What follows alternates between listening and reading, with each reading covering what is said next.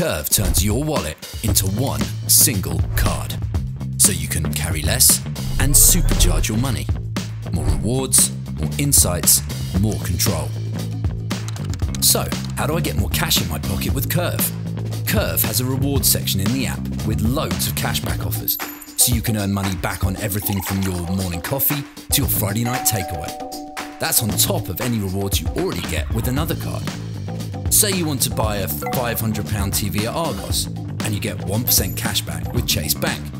If you add your Chase card to Curve, you will get 1% cashback from Chase and up to 3.5% cashback from Curve.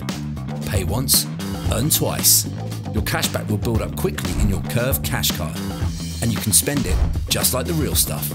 You could even switch to crypto rewards to earn cashback in Bitcoin, Ethereum, Solana, and loads more. Explore financial freedom and up your money game.